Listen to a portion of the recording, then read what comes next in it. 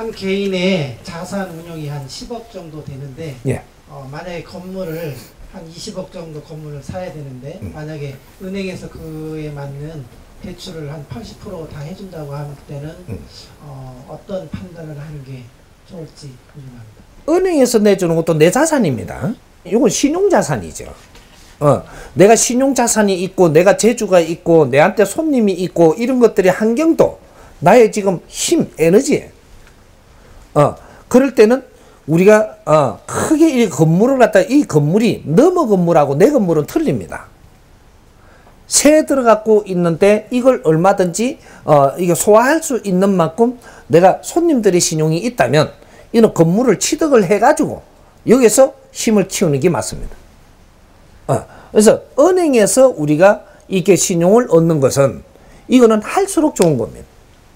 어, 은행에서 신용을 얻는데 뭔가를 하는 게 없는데 은행에서 꺼내갖고 뭐를 차리지는 마라. 그건 절대 안 됩니다. 내가 지금 하고 있는 게 없는데 은행에서 대출을 내 갖고 이렇게 이렇게 해 가지고 지금 뭐 이거는 이자 얼마 갚으면 된다 이러고 채리는 거는 100% 망해 갖고 너는 힘이 다 떨어질 거니까 하지 마라 요거죠 어 은행에서 이렇게 어 융자를 얻을 때는 네가 하고 있는 것이 무엇인지를 봐라 이거죠 어 요것은 내가 대출을 내 가지고 이런 이런 거를 취득을 했을 때 이 지금 하고 있는 일에서 수입이 그거 대출을 충분히 끌 수 있고 생활도 할 수 있고 경비도 할 수 있다. 요 사문칙이 맞아야 됩니다. 경비를 우리가 좀 아껴 쓰면 아껴 쓰면 이자를 다 낼 수 있다. 요거는 하지 마십시오. 요는 안 되는 겁니다. 경비도 쓸 수 있고 사문칙이 맞아야 돼요. 4대 3대 3. 어.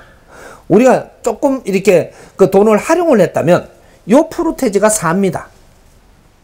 요게. 그리고 우리가 생활하는 게 3이 들어가요. 그리고 우리가 사회 이 경비를 쓰면서 살아가는 게 3이 들어간다. 요것을 다 충당할 수 있다. 지금 환경으로. 요러면 요건 무조건 하십시오. 100% 성공합니다. 어, 요렇게 하는 것이고. 어, 그러게 빚을 은행에 이 융자를 낼 때, 어, 내가 하는 것이 뭐가 없다. 없는데 이걸 내서 뭐가 하면 될 것 같다. 안 될 것 같답니다. 절대 안 됩니다. 이건 100%입니다. 아, 그래서 어려워지기 시작을 한다. 어? 이런 거고, 아, 좀에는 뭔가를 할 때, 이럴 때 여기에 맞게끔 이것이 세 가지를 충당할 수 있다, 이것이. 그럴 때는 그거는 융자를 내쓸수록 좋은 겁니다. 어, 국민의 이 경제는 은행으로 하고 이 사회로 뭐든지 지금 집합돼 갖고 있는데 이거는 실력 있는 사람들이 써라고 집합해 놓은 겁니다. 이것이 회전이 잘 돼야 이 사회가 잘 되는 겁니다. 이것이 또 이 국민들한테 혜택이 가는 것이에요. 어, 무조건 내 것만 갖고 한다. 이것은 사회를 멀리 하는 거기 때문에 언젠가 충격을 입으면 엄청나게 힘들어집니다. 어, 은행은 잘 활용할 때 이 은행이 내 은행이다 이 말이죠. 그리고 그 은행 또 아끼고 사랑해야 됩니다.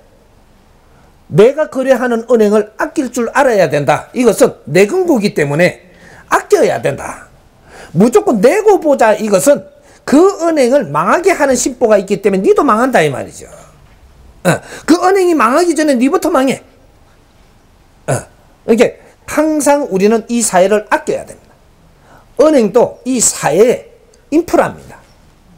국민들의 피와 땀을 여기에다가 모으고 있는데 이걸 잘 쓸 사람이 써야지만 되는 것이다. 음, 이런 겁니다. 아, 그렇게 요 3대 원칙을 전부 다 아우를 수 있는 내가 뭔가를 할 때, 아, 이것은 충분히 가능하겠다. 이거는 할수록 좋은 겁니다.